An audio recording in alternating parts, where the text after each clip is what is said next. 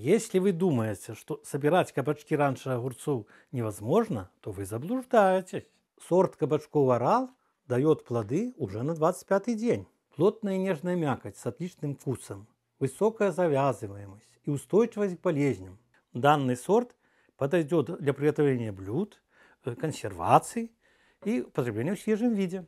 Процветания вам!